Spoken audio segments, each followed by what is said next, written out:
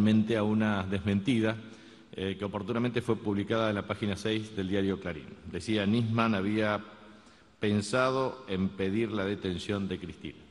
Esta mentira sistemática que nos tiene acostumbrado el Grupo Clarín, que ya lo hizo con el canciller Timerman diciendo que no había estado eh, en la marcha de Charlie Hebdo y estuvo, eh, también requiere no una respuesta de mi parte, simplemente es una respuesta del Juzgado Nacional en lo Criminal y Correccional Federal número 4, a cargo del juez Ariel Lijo.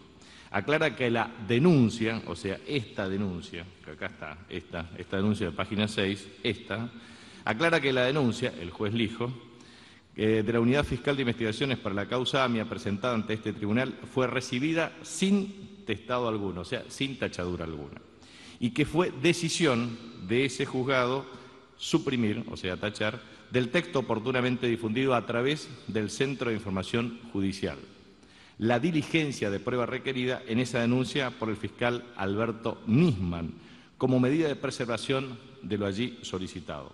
Se trata solo de supresión de medidas de prueba y no de ninguna otra petición sustancial respecto de los presuntos imputados. Esa versión fue publicada por el Centro de Información Judicial modificación alguna. Por lo tanto, esto hay que hacer esto, porque es falso. Y es importante recargar esto porque acá también, en la página 39, Eduardo Van der Koy dice, es claro aquel disparate de Jorge Capitanilla, el periodismo intenta tapar con la tragedia la cantidad de gente en las playas. No fue más que un pensamiento de la presidenta. La verdad que yo jamás dije eso, también. Yo lo único que dije es, todo esto es basura, todo el tiempo es mentira y basura. Por eso es importante que el pueblo argentino sepa quién le miente. Y la verdad es que lo que había dicho es que se pretendía establecer un montaje a partir de una denuncia con un contenido falso.